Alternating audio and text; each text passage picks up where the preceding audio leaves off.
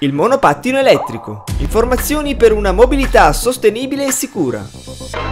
Il monopattino elettrico è un dispositivo a propulsione prevalentemente elettrica non dotato di posti a sedere perché è destinato ad essere utilizzato con postura in piedi. Può essere condotto dai 14 anni in su, con l'obbligo del casco per i minorenni.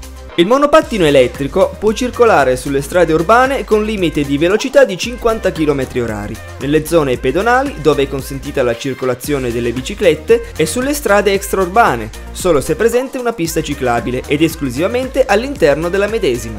Tuttavia, per circolare su strada deve avere determinate caratteristiche. Un motore elettrico di potenza nominale continuativa non superiore a 0,50 kW. Non superare i 25 km h che si riducono a 6 km h quando circola sulle zone pedonali.